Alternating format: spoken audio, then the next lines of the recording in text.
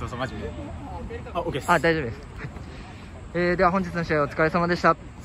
えー、では試合を振り返ってのコメントお願いいたします。いやまあここ2戦って、まあ、勝ててない試合が続いてて、まあ、最後、まあ、もう予選突破はできないんですけど、まあ、ここ意地でも絶対勝つぞってみんなで、まあ、声かけ合って、まあ、昨日からしっかり映像とかも見て、まあ、全員で、まあ、やることっていうのは共有していたんで、まあ、ここもうみんな気持ちが一つになってしっかりこの試合、まあ、最後になったんですけど、まあ、勝ててよかったと思いますありがとうございます、えー、では今大会を、えー、まとめてですね振り返って、えー、感想の方お願いいたします。はい、えー、まあ今大会は、まあ結果的には、まあ、1勝2敗っていう結果で、まあ、思うような結果っていうのは残すことはできなかったんですけど、まあ、これが今の自分たちのチームの現状っていうのはもう分かったので、まあ、まだ